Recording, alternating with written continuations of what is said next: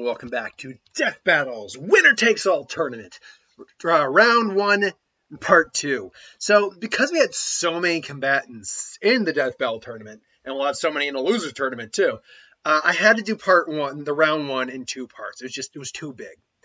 Uh, also, I should note, just to reemphasize, that the way I'm going about it is I am just, this is more or less my opinion with a little bit of the information we get from Death Battle. Like anything that seems relevant in Death Battle's calculations applies here as well. Lastly, there were actually turns out a couple uh, combatants that I had forgotten to include on the list. Not that I didn't know they were going to be in the tournament. I knew they were going to be in the tournament. I wrote them down, but for some reason, when I was making when I was randomizing the uh, the characters for their matches, somehow they got lost in the fray. So I figured I'd just go in there. But without further ado, let's get into it. First up was Samus versus Gundam Epyon. Uh, to me, this one came down to really Gundam Epyon is larger, and I know Samus has taken down larger opponents before. I do, I don't know a lot about um, Metroid or Gundam, but I do know that Samus has taken down larger opponents. But Samus has had many different variations on her suit the suit itself do, can be destroyed and break. And the Gundam Epyon is a it's, it's a machine designed for battle. It is it is a battle suit Gundam for a reason. Uh, add on the fact the Epyon system is pretty much a I can see the future kind of thing. Samus at best would have a mobility advantage to some degree as she would be so small. Epyon might have some trouble. Epyon is smaller too by normal Gundam uh, standards. Uh, but ultimately, Epyon would win that fight, 100%. Uh, then you had uh, poor Blanka. I would have liked to see Blanka make it farther. I knew Blanka wouldn't have won, but you had to go up against Akuma of all things first and foremost. Uh, it's Akuma, man. Like only Ryu beat, beat Akuma, and only in uh, like the storyline, like uh, Ryu's actual story, like in the series. Uh, Blanka, I mean, Blanka probably wouldn't go down without a fight. Certainly, Blanka might, you know, shock Akuma a little bit, maybe get a couple decent shots in, but Akuma ultimately would take that fight whole-handedly. No problem whatsoever. Rogue versus Spider-Man was a tough one. Um, and that's because Spider, physically speaking, Rogue's powers and durability and flight and all that can fluctuate depending on your interpretation. Generally, I'd say she is stronger than Peter. She is. Like she's stronger, she's can fly, she's more invulnerable than he is, and her mutation is far more dangerous than anything he actually has. On the other hand, he's still physically very powerful, able to at least keep up with her. He's got better tech with his web shooters and some spider gadgets he carries. He's more intelligent, and his spider sense gives him a better a sense of awareness. So it came down to who I think is going to win in a long term fight. Because his suit's going to prevent her from having any skin contact on him, but that's only going so far until the suit rips and he's got exposed skin. At that point, all she has to do is make skin contact, and there you go. Uh, and but that's assuming she can touch him with the spider sense reacting. I think she's going to tire him down uh, out and wear him out before she, he wears her out. Uh, because I think she's not he's not going to be able to throw anything at her that she can't already handle. So ultimately, I had to go rogue uh, on that one. Zangief versus Mai Shiranui. Um, she had actually already beaten uh, Chun Li, and obviously Zangief is from Street Fighter. He's clearly got the physical advantage.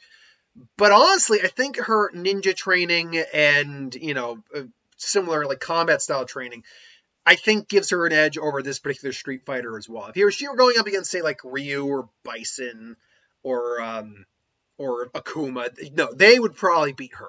But uh, no, Zangief more than likely will take that win. Uh, Leonardo versus Taokaka. Um, this one I found re- also more difficult. The side B of round one proved to be a bit more difficult for me to kind of determine than side uh, than uh, side one. You think these are, you think the idea of who would win right now in round one is difficult. Wait till we get into later rounds. Oh, we're going to be having some conversations coming up later uh, next week. But Taokaka, she's definitely more unpredictable than Leo is. Uh, I believe it's mana that they draw on, or something akin to mana uh, in the BlazBlue universe that allows her to um, use the abilities she has. Um, but the question is is simply this: Does Leonardo have the abilities to overcome her? He's certainly a better fighter. He's more trained. He's more level-headed. Uh, if we're going by death battle rules, then we'll give him access to the sword that lets him teleport. Um, and he's got a bit better defense than she does. She, he's not as squishy as she is due to the fact that he is a turtle uh, with a shell and he's just got thicker muscles. Uh, he is better, like I said, he's better trained, so he should be able to, and he's got great reflexes. So he should be able to, in theory, keep up with whatever it is she's going to dish out, even if he gets taken by surprise. But the counter argument to that is she's still got, she can still attack out of the blue with deadly abilities. So it's tough. I leaned towards Leonardo in this. I think he's got a, I think it's kind of like Jack versus Afro where Jack had, would, had dealt with tricky opponents, so is Leonardo. And he's got the resources to keep up with her, whereas she's clearly going to tire herself out. Plus, he's actually very intelligent. She's not. So that helps uh, play into a factor as well. Uh, so I went Leonardo. Poor green dinosaur. Master even survived re-entering the Earth's at re-entering, uh, re-entering a planet's atmosphere several times, tanked explosives to the face, gone up against the flood. I mean, Yoshi might swallow him once and try to do what he did against Riptor and throw him into some lava, poop, like poop an egg into some lava with him in it. Master Chief can walk that off like it's a lazy Sunday. So, yeah, and Master Chief honestly would just shoot Yoshi and Yoshi's dead. I mean, if we're going to have fun with it, Yoshi survives a couple shots, but any of the heavy caliber weapons that Master Chief has isn't going to work, or isn't, uh, Yoshi's not going to survive that. So, Master Chief wins that fight 100%. Another one, it's, weird. Princess Peach versus Spawn. I, I felt bad. I, this one didn't. I, this uh, thumbnail didn't crop well. Um, actually, you know, I can make that a little bigger. Hold on. Uh, there we go. Now it's cropped better. Um, uh, but Spawn versus Princess Peach. I mean, she does have a couple of ability, like the frying pan, the kicking her butt, the the, the sheep thing, but let's not mince words. Spawn will tear her soul limb from limbs, or limb from limb. So yeah, that's that's all Spawn, 100%. he can he would uh, just tear apart with the chains alone. Let's be frank. Fortunately, she can't. He can't feed off her sins like he did with Kratos. Though that is one thing we should note. That this is not a fight where he can just freely just use his abilities uh, like he did with Kratos, because he could feed off all the sins and evil energy that Kratos had. Can't do that with her. That said, he's still got plenty of energy he can use. So yeah, he, he beats her. Dig Dug versus Superman. Um, look, this is not this is not one of those. Let's make it up. And so Dig Dug could win if he had a kryptonite drill. I was like, yeah, but that's not what we do here. We they're going in blind with no prep. That's why Batman's match is gonna suck in a little while. Um, Superman would make mincemeat of Dig Dug. That's just that's, that's just it. He'd make mincemeat of Dig Dug. Uh, then you have Vegeta versus Link. This one's interesting in my mind because it's not about who would win. Obviously, Vegeta will win. He's got a universal level of power to him. It's a question of whether or not, not whether or not, but how long would Link be able to last against Vegeta? That's the question. Frankly, I don't think it would be long. I mean, yeah, Vegeta might indulge him and, you know, play out and say, give me your best shot. And, you know, Link says, yeah, yeah, yeah, yeah. Just, Arrow's like, oh, a boomerang. How quaint.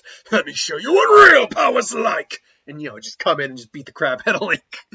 Uh, and he probably could one shot Link in a heartbeat. That's it. All if the Triforce of Power, and I liked how Death Battle calculated that that the Triforce of Power was created by the gods Din who created the Earth, so they highballed it on like a high planetary level of power. Made sense. Honestly, that makes perfect sense. Vegeta can blow up planets with his finger, for God's sake. He literally is it has universal levels of power. He just doesn't have a technique like, say, the Hakai or something that could destroy the universe. In theory, I guess Beerus could do that with the Hakai. But furthermore, his power, he's got enough control over it where it does not just radiate out willy nilly and threaten the universe. So Vegeta wins that, no questions. Luke versus Deadpool was a really weird one. The Jedi mind trick really would not work, I think, on uh, Deadpool. Uh, not because he's um, not kind of on the more. Deadpool's not an idiot. He's insane. There's a difference. I mean, yes, he acts like an idiot, but that is partly due to the fact that he's just a flamboyant personality. Um, and he's fourth wall aware. So it's. I don't think it's fair to say the Jedi mind trick would work on him. And plus, the multiple personalities in his head probably have something to say about the Jedi mind trick.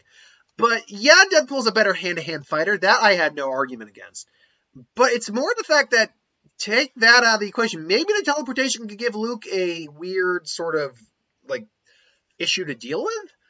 But you take those out of the equation, and Luke's the the a lightsaber cauterizes as it cuts, meaning that Deadpool not only has to heal from a dismemberment, he's got to heal a burn on top of that dismemberment, which would be a problem for reattaching because one area, I mean, Deadpool can technically grow from another hand, but that was a weird magic thing. Uh, that happened.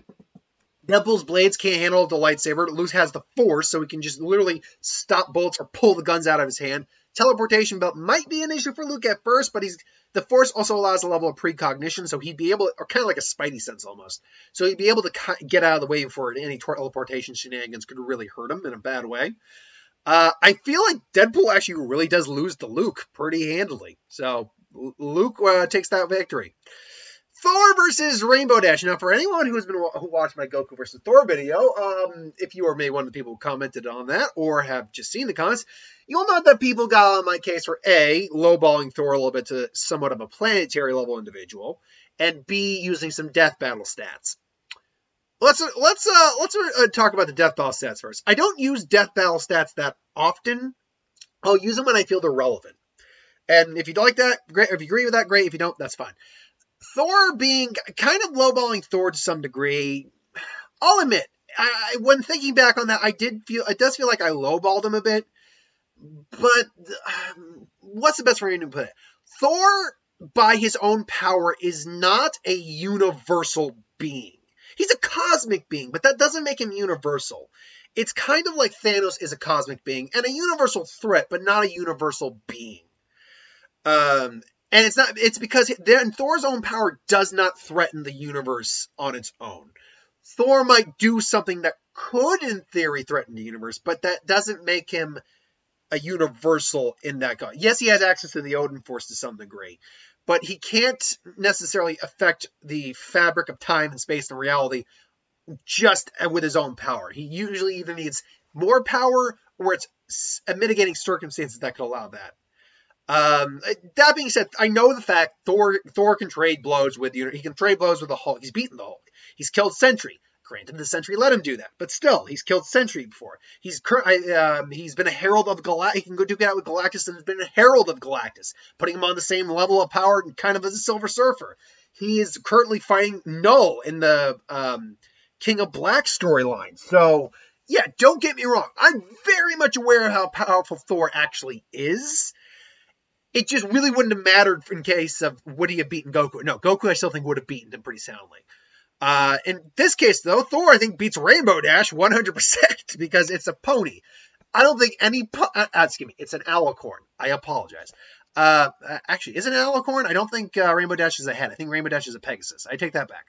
Um, but um, I don't think any My Little Pony character, save maybe Discord because of the nature of Discord, could take a hit from Mjolnir and live. So yeah, Thor Thor takes that fight. Uh, then you got He-Man fighting Orchid from Killer Instinct. By the by, some of these characters I had to find try really hard not to find overly sexualized images of. Orchid being one of them. Um, I mean, and I mean even that's like, whew, um, I mean that's how she looks in the game, so that's what we went with but yeah, I mean, she could turn intangible tiger or jaguar, leopard, whichever form it was, uh, and you know survive. And, and is a good fighter, but He-Man is literally someone who could go toe to toe in comics and has with Superman. So, and he's got the power of Grayskull, Battle Cat, the whole nine yards. So yeah, He-Man takes that victory, in my opinion. The whole turning into a frog thing, I believe, was just like a final finisher.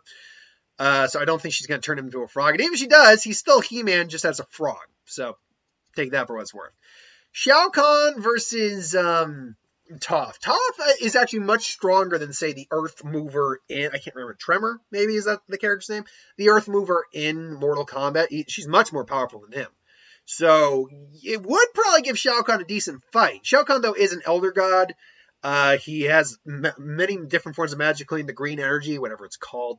Uh, he can combine realms together.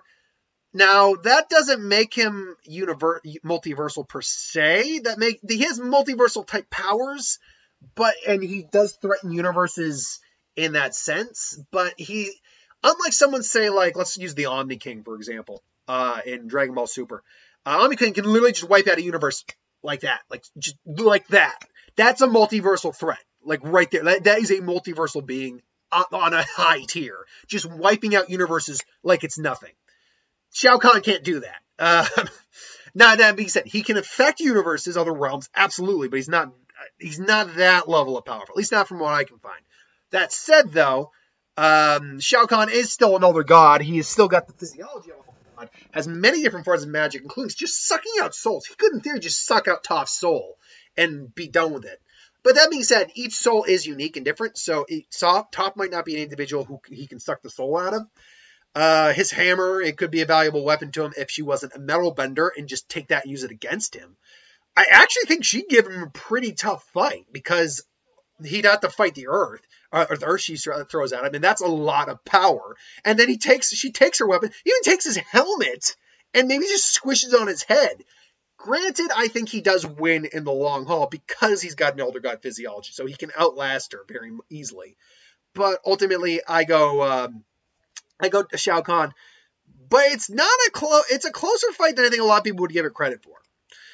Uh, Strider Hiryu versus Fox McCloud. Oh, it's Strider Hiryu all day. He's Fox McCloud's awesome. I love the Bucky. I might actually rewatch that episode when I'm done. The Bucky O'Hare versus Fox McCloud episode. Captain Captain Bucky O'Hare. He goes whenever ever a rabbit would dare. Uh, the righteous indignation. Yeah. Uh, I don't actually remember watching that series, but maybe I should. But yeah, Fox McCloud, he, he has blasters, sure, and he's a tough fighter, but Strider Hiryu is a like cyber ninja with a lightsaber esque blade that he can literally and he can literally rip people apart with his bare hands. No, Fox McCloud's toast. Blastoise versus RoboCop. Okay, so this is where I'll bring Death Battle in because they show that the cannons that Blastoise has fire water at extremely high pressurized velocity to the point where uh, there's a reason that Blastoise completely killed um, Charizard the way it did in their fight. But add on to the fact it's also very bulky Pokemon. It's got a high defense, but it's still, I think, lacking in a few areas that would allow it to actually beat RoboCop. RoboCop's small arm fire probably wouldn't do much. Uh, it, it probably just wouldn't uh, get many uh, get many uh, lethal injuries in on Blastoise, and Shell would protect it. Anything else with Dick Shot? Because we know Robocop has rockets, laser cannon, flamethrower. That wouldn't work very much because of water type. Um, and high caliber anti tank rounds. And durable enough to survive massive explosions, tank laser blasts, and strong enough to reverse a hydraulic press. While Blastoise's water might even damage Robocop, Robocop ultimately would, I think, pull out the win. Another one where I had to laugh a bit. Tails versus Fulgore. Now, Tails is a lot stronger than we gave him credit for, that's certain. So I had to, and Fulgore I think only has one real range weapon. It's like an energy cannon in the chest. So I had to figure out, like, okay, how does this fight ultimately come down? And I realized that the only way it comes down is the fact that Tails would mostly have to get in close to use any sort of real abilities uh, to kill Fulgore. And Fulgore's bread and brother is bread and butter is close range, and with those basically lightsaber gauntlet blades, he's gonna pretty much just cut uh, tails into smithereens. So yeah, it, it's I went Fulgore on that, but I could see a unique argument for Tails. Batman versus Godzilla. In a perfect world where he had prep to hell, he'd honestly just use the Justice Buster, and that'd probably be enough. Um, but in a perfect world where he had time, he'd make his own Mecha Godzilla, and because it's Batman, it'd be awesome, and would kill and beat King, uh, Godzilla. But that's not the world we live in. Batman, with all the things he carries on him normally, has nothing to bring down a giant, nearly 400 foot tall, and we're using the uh, just jet. We're using the legendary stats of Godzilla as the biggest one. Uh, we're not using Godzilla Earth for obvious reasons. Uh, but so we composite Godzilla is what happens. But a, a near 400 pound, uh, the 400 foot tall, three, 100 and some odd ton, uh, or tens of hundreds of tons, or tens of thousands of tons, atomic lizard who can tank nukes and just get stronger like it's you know uh, steroids. So yeah, no, Godzilla beats Batman. Sorry, Bats. I would have liked to see you go a little further. Scorpion versus Kirby. Now, I stand as one of the people who re- actually disagrees with the Kirby versus Majin Buu fight. I do think Majin Buu should have won that fight. It's one of the few times I legitimately disagree with Death Battle. Like, I don't rare, I don't very often disagree with him. I generally think, even if I'm wrong in my uh, my opinion of the like who won, the way they rationalize it usually makes sense to me. But this was a case where, like, no, Buu should have actually easily beat Kirby. I, I'm I'm not really certain where they're getting this kind of info. Because that was early Death Battle too. I do feel like they've gotten better at not all the time. Sometimes I feel they drop the ball, but it's it's become less that I feel they drop the ball. So against Scorpion, do I feel like Kirby actually could win? As long as the fight doesn't go to hell, yes, because as Death Battle showed, as long as Scorpion's in hell, he will keep getting stronger. And, you know, unless you have a proper way of taking out Scorpion, then you are going to die. And Kirby, I don't think has a proper way to take out Scorpion. And this fight eventually will go to hell. So, because that's just what Scorpion's going to do. So ultimately, yeah, I got to go Scorpion in this fight. Sol Badguy versus Iron Man. This came down to who's going to dish out more damage and who can take more damage. That that was literally all that came down to. And fortunately, Tony's suits already automatically provide him more defense than Sol Badguy's belts. So even though Sol Badguy can easily destroy mountains and um, gears and all that, giant monsters, Tony can tank nukes. His endosim armor alone could probably absorb most, if not all, the energy that Sol Badguy throws at him. So I had to go Iron Man in this fight. Goliath versus Solid Snake is an interesting matchup. Uh, now, Goliath has dealt with individuals similar to Solid Snake before in the series, but nowhere near the same skill level as Solid Snake, obviously, because Solid Snake is Solid Snake. But Solid Snake is still just human. Yeah, he's got firearms, sure, and Goliath is not bulletproof, as we find out know in the series. But that said, it's still one of those things where, yeah, Goliath might not be bulletproof, but he's still far more physically uh, dangerous of opponent than uh, to Solid Snake than Solid Snake is to him. So ultimately, I had to go Goliath. Doctor Doom versus Carolina. Carolina could put up a solid fight. She's in the not the same tier, but same type of universe as Master Chief. Um, she's definitely a highly trained. She actually probably is a better fighter physically than Doom is, even though Doom's a really good fighter. But Doom's tech, technology, and genius really just overwhelms her, in my opinion. So Doom gets that uh, that win. Flash beats Donkey Kong. I don't think anyone of us is going to argue that. So let's just move on from that real quick. Raiden versus Terry, or Raiden, I can't remember. I think it's Raiden. Uh, Raiden versus Terry Bogard is an interesting one because uh, I think he's that Terry's actually just the better hand-to-hand fighter. But let's be honest, durability, regenerative capability-wise, weapons-wise, and psychologically, Raiden is the far more dangerous individual. And especially if he goes into Jack the Ripper mode, Terry can maybe hit him with energy, but uh, like an energy attack, but Terry is, uh, I'm sorry, uh, Raiden has survived plenty of serious hits that I don't think Terry's got enough firepower in him to take out uh, Raiden. So Raiden wins. Hercule Satan versus Hawkeye. I don't think it's in any con- uh, contestation. That, uh, I don't think it's going to be contested that Hawkeye's going to win this fight. If not for nothing else, actually, because he's got hey, he's got weapons of plenty of different arrows that we know Hercule can be taken down by a bullet. Uh, but Hercule also, even though he's a was a legitimate martial arts champ, by even like his universe standards, by normal human standards, there are better martial artists out there. Uh, and I don't even mean talking about the Z fighters. I mean, there's probably better martial artists out there. And if you go into put throw him into any Marvel universe, DC universe, any universe, hell, Terry Bogard would kick his ass. Uh, Hawkeye is just a better fighter all around, I think. So Hawkeye would win. Natsu versus Astro Boy. That one, okay, this one was legitimately tough for me to decide because I'm like, okay, Astro Boy has survived a dip in the sun. His body is designed, he can lift 100, has 100 horsepower strength or 100,000 horsepower strength. So, and it can fly and has butt guns and missile and all that stuff. So the question I had asked myself was, okay, does Natsu bring anything to the table that would legitimately beat Astro Boy? Does he? Uh, I mean, obviously he's got his Dragon Slayer magic, but I mean he can survive a dip in the sun.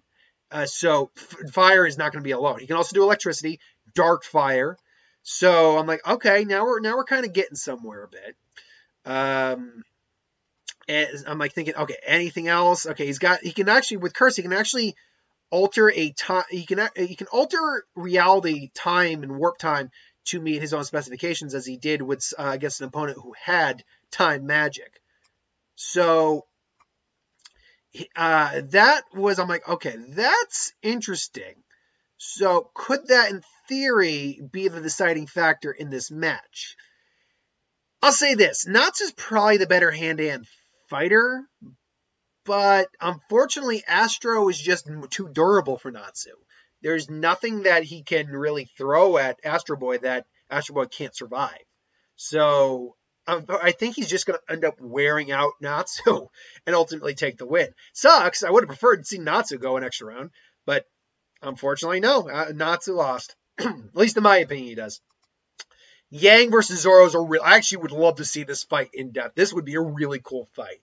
Yang's aura and semblance really made me question, like, okay, could Zoro beat her? Like, legitimately, could he beat her? He's clearly a better swordsman. He's probably clearly a better fighter in general. Uh, he's also a much more level-headed individual. Even though she's improved, she can still lose her temper at points. So the question is, I'm like, okay, do, can he win? He's got Haki. I know that. He's also got observation. He's got armament and observation Haki. So could he could he beat her? Because her semblance allows her to absorb kinetic energy, which would be a problem. But then I basically thought on it longer. I'm like, Zoro's gonna win, and the reason Zoro I think is gonna win is because of the nature of kinetic energy and the nature of physics. Now, I'm not a physics major. I admit that right up front. It's been a while since I've had a physics class, but I do know still a little bit about physics and kinetic force and area and weight. So, in essence, uh, kinetic energy is all the energy in motion, and then it gets transferred upon making connections. So, if I throw a fist, all the energy I'm throwing in that fist basically gets concentrated into, or in my arm, in the movement, all that, gets concentrated into the fist and goes straight into the source of where it of where it's hitting. That's why Yang can usually take on someone who's usually using like a blunt instrument or fist or anything like that. However, when it comes to blades, the surface area of a blade is so minimal that the kinetic energy isn't going to disperse in, in a large enough air way to allow Yang to absorb it properly. She'll still probably get some of that kinetic energy, but the blade is still going to sink into her flesh. And the fact is that uh, Zoro is fast enough to dodge bullets, block bullets, cut through metal, so her bio- her artificial arm isn't going to uh, matter anymore. Uh, she's not going to be able to hit him with her weapon. So I think Zoro's honestly going to take this fight. I really think that. War Greymon versus the Joker. War Greymon wins. Take out the Joker venom for a minute. If this fight even if either of these two want to be serious, Joe, the War Greymon just comes in and just skewers him on his Dramon destroyers, and Joker's dead. Even if Joker gets Joker Venom off, I don't know if it'll work on War Greymon because War Greymon is a digital creature. So I don't know if the Joker Venom work. It can work on Superman and Wonder Woman, for God's sake. I don't know if it'll work on War Greymon, given the nature of what War Greymon is. So, yeah, I'm going with War Greymon on that. Dante versus Doomsday. Um, Look, I would love to say that I feel Dante could win this fight. I tried to look up feats with the, the devil set like sinner devil trigger or whatever.